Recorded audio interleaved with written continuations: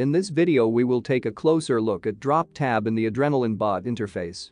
The settings of this tab determine how your bot will pick up drop. Which items should be given priority when pick up and which ones, on the contrary, to ignore or even to delete. We can see two sections at the top. General and filter. Let's talk about general settings first and we'll move on to filters later. Pickup and radius.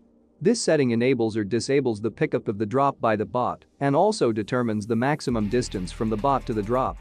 The drop outside this radius will be ignored. Disabling the pickup can be useful on server with auto loot or for PvP. Z limit. The maximum difference in height between the bot and the drop is indicated here. For example, this option can be useful if the bot is farming in the Tower of Insolence. If you do not adjust the height limit, then the bot can run to pick up drop on another floor, which will cause problems. Only mine. When this option is activated, the bot will only pick up drop from those mobs that it itself or someone from its party killed. In most cases, it is advisable to enable this setting, otherwise the bot will pick up drop intentionally thrown by other players nearby, as well as try to pick up drop from the mobs of other players and will stand still for a long time because someone else's drop cannot be picked up immediately all of this can be suspicious. However, when you are farming in a crowded location, it may look strange if your character picks up only your own drop and a heap of other drop, so use the setting according to the situation and your discretion. In Combat Zone. With this option, the bot will pick up drop inside the combat zone configured in the Combat Zone tab, even if an attack outside this zone is allowed. Ignore bad items. When this setting is enabled, the bot will check for the presence of a drop in its database and ignore it if it's absent.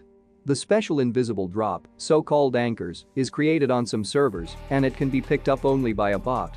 Upon picking up such a drop, the character can be insta-banned. Timeout. This is the time, in seconds, during which the bot will try to pick up an item from the ground. If he has failed for any reason, he will skip it and go to pick up the next one. For example, an item can be dropped on the rock that the bot cannot climb, and then, after 10 seconds of unsuccessful attempts to pick it up, the bot will start to ignore it and will pick up another drop or continue to farm. Before delay. Here you can specify the minimum time interval that must pass from the moment the item has been dropped to the moment when the bot will try to pick it up. This is to prevent the bot from picking up items too quickly before the animation of dropping to the ground ends. This option is useful to arouse less suspicion. Let's move on to filter section.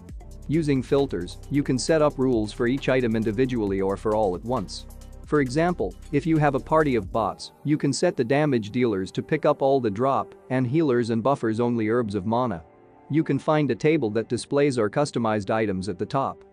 In the first column the name. In the second the type of item and its grade.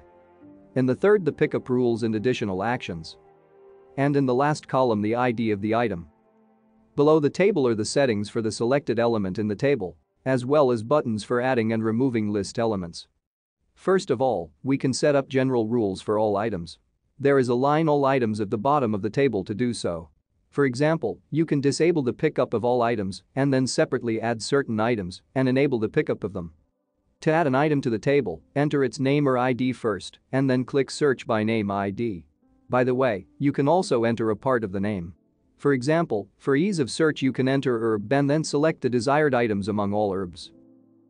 After clicking on the button, you will see a list of found items in which you need to enable checkboxes for items that you want to customize later. You can also select only one item. The checkbox select all will help you with this. It selects all elements at once or deselects them.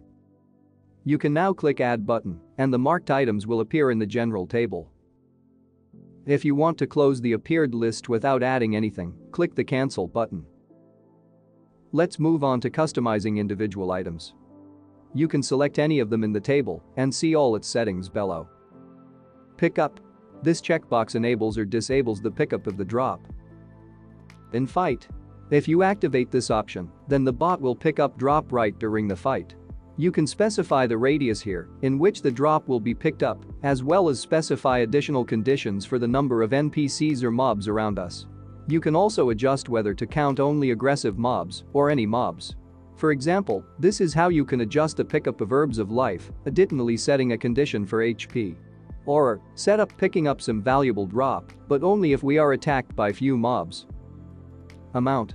This is a setting for items that drop as a stack. For example, for arrows or resources. The stacks with the amount of items more than the specified number will not be picked up by the bot. Load. Here you can set the maximum load of the bot's inventory at which it will pick up the item. For example, you can set the archer to pick up arrows only if he has no weight penalty. Condition. In this drop-down list you can select any condition for HP, MP, CP, or bot level and enter a value next to it. After all, for example, the bot does not need a herb of mana if its MP is already full. Priority. Each item in the table can be assigned its own priority. The higher the value the higher the picking up priority. For example, the bot will first collect all Adena with priority 10 and only then will pick up the threads and bones with priority 8. The bot has options to delete or crystallize items. For example, if the bot simply does not need an item that only clogs its inventory. Crystallization is used only if the bot has this ability, for example, the crafter. If amount more than if the bot has more than the configured amount of the selected item in the inventory, item will be deleted or crystallized. If load more than.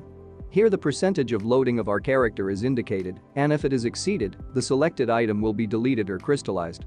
For example, archers can delete arrows if they have weight penalty, and blacksmiths can crystallize dropped items.